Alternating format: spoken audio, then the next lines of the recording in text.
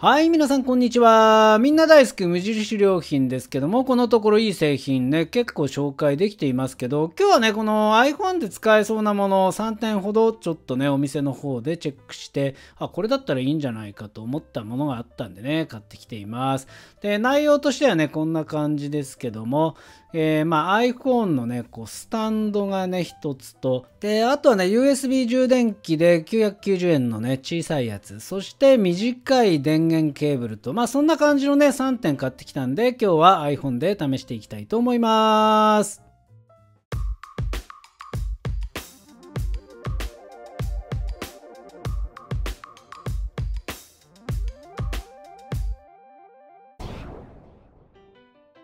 はい。ということで、まずは折りたためるスマホスタンド890円ということで、これはね、なんか最近出た製品で、えー、この前までね、オーダーできないになってたのが、今ね、えー、オーダーできるようになっていますね。私が行った店頭でも結構在庫はあって、2色あるんですけど、ちょっとね、開けていきたいと思います。で、これはもうね、あの、シンプルにね、こう、板状になるスマホスタンドということで、で、まあ、ここにね、使い方なんか書いてますけどね。そしてね、この本体自体はね、こんな感じでね、これ、まあ、伝わりますかね、肝タイプの合成比較という感じでですね、えー、手触りいい感じで、で、こうやってね、えー、ぐるぐるっとね、えー、伸ばすと使えるようになるわけですけどね。で、この部分はシリコンのような摩擦感のあるものが貼ってあるような状態ですね。で、こちらね、えアクションをお見せすると、パタン、パタン、パタンとやって、てそして一番右の端側ですね、まあ、上の端と言った方がいいのかな、ま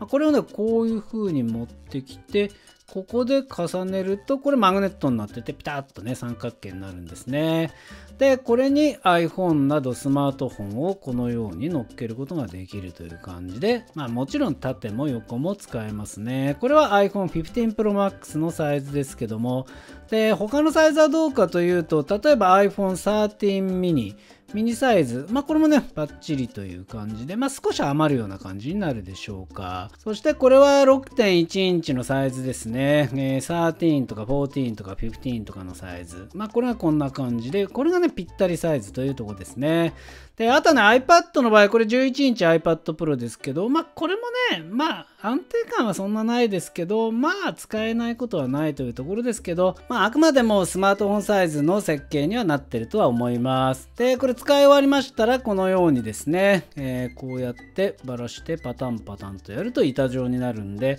まあ、どっかね、使うところにね、置いといてもいいかもしれません。で、持ち運びたい方は重さの方 47.2g となっています。はい、そしてお次はね、これ、ジョイントタップロック付きの延長コード10センチ590円ですけどね。まあ、これ自体はね、もともとは、そのね、えー、他のパーツも売っていて組み合わせて使うものなんですけども、10センチの短い延長コードとしても使えるということでね、なかなかね、気が利いてるじゃないかと思って購入した製品でございます。で、ちょっとね、開けていきますけども。で、まあ、このね、短いケーブルっていうのは結構ね、使い勝手がいいものでね、私、まあ、この MUJI の以外のも過去に結構使ってきているんですけどね。で、これ自体はね、本来のは別売りのこのね、ジョイントタップっていうやつに、この先っぽにつないで使うための仕様になってるんで、まあ、この部分ちょっと一回り大きいは大きいんですけどね。ただ、この長さの探すのめんどくさいんで、無地にあるって分かってると結構心強いです。で、これがね、1500W が上限という風に、えー、警告のシールが貼ってましたかね。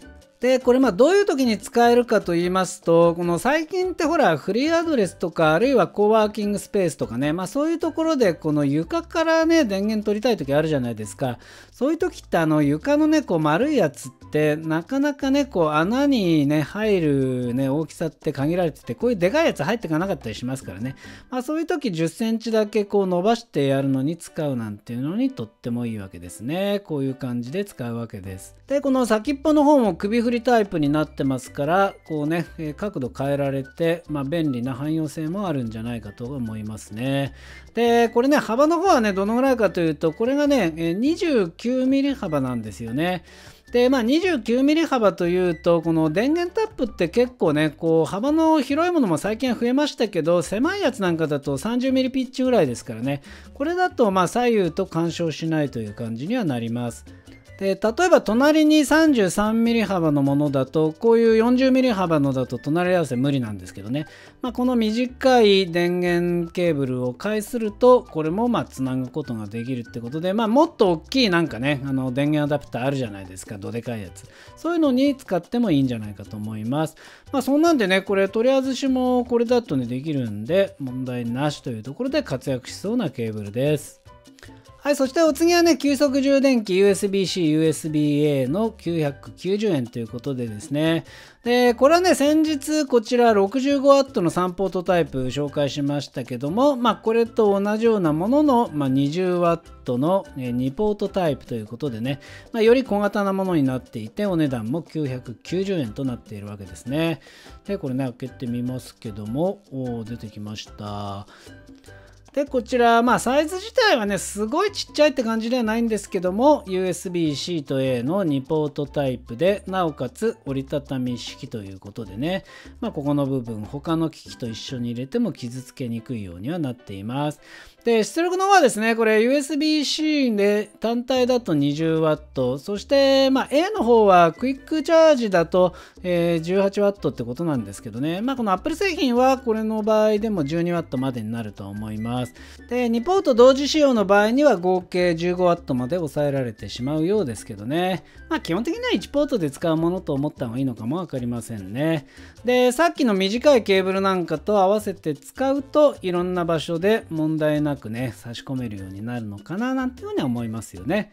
でもちろんね単ポートで言うとこのね 20W とか 30W ってアンカーでもっと小さいやつ出てはいるんですけどね、まあ、ただねお値段的にはねこのアンカーはこの左側のが3000円台で右側のも1000円台のね、えー、中高半ぐらいなんでね。まあそういう意味ではね、えー、まあお値段出して小さいの買うのもよしそして全国で売っている無印良品、まあ、こちらでですね、え、まあ990円でちょっと大ぶりなのを買うのもよしということで、重さの方ね、測ってみましたけど、これがね、52.7g ぐらいですから、まあ、決して軽い方ではないんですけどね、えー、さっきの小型のアンカーなんかだと、これ 30W で 38g、これ 20W で 30g ぐらいですからね。ただ、アップル純正の 20W は 60g ありますから、これよりもね、軽いんですよね。まあ、サイズも、まあね、そんなに大きな違いがないんで、こっちを買った方がいいような気もします。で出力一通り見てみましたけどもこちら iPhone で4%残のやつですね。iPhone 15 Pro Max ですけどこの場合 9V の電圧で入ってきてパワーデリバリー 2.18A ですからまあ 20W 近く出てるわけですね。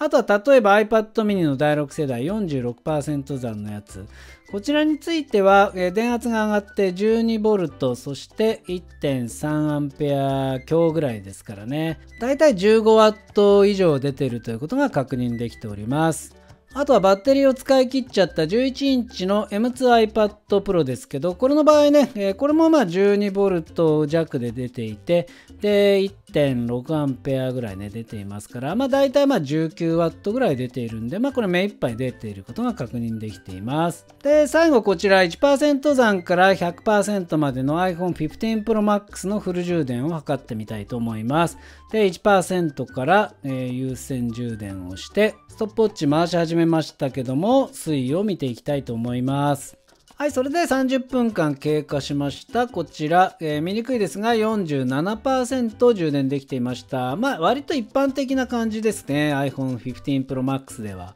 で、35分経過したところではもう53%になってましたから、Apple が言うところの高速充電では、えー、35分で50%以上っていうことなんでね、iPhone 15 Pro Max の場合には。なんでまあその通り以上ということで、で、1時間経過のところで78%。まあ大体こんなもんだろうというところ。まあ場合によって80%超えるものもね、充電器によってはありますけど、まあ標準的な推移となっております。で、1時間のところで91%。まあもう終わったようなもんですけどね。そしてまあその後は緩やかになりまして、トリクル充電状態2時間のところで98%。で、2時間10分のとこで99%、そして100%が確認できたのが2時間15分ぐらいでしたから、もうこれほとんどね、65W の時とね、同じ結果となっていますね。まあそれでね、この充電器についてはね、以前その無印良品ではアンカーが作っているものとして充電器を売っていた時期があったんで、なんかそれにこだわる方おられるようなんですけどね、ただまあ一般的にね、こういった SPA のね、えー、まあブランドとか会社でですね、あの、どこで作ってるかって別に開示しているようなものっていう方が稀でね、そのアンカーって書いてあったこと自体の方が稀ですからね、まあ、あくまでもその無地というね、ブランド、そして会社会社名、良品計画として、えー、まあ責任を持ってですね、販売しているものなので、あの、そこをね、なんかアンカーにこだわる方はもうアンカー買ってくださいっていうふうに私は思いましたね。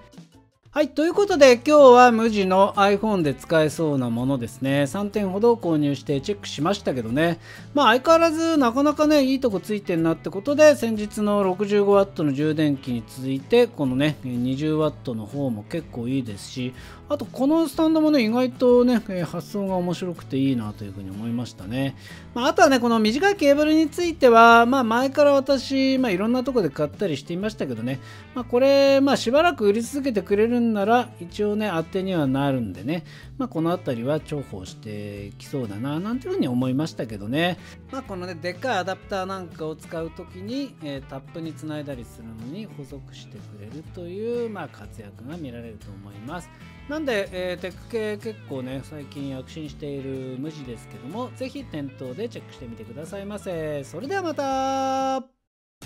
この動画が役に立ったと思ってくださった方はいいね。そしておすすめ動画とチャンネル登録の方もよろしくお願いします。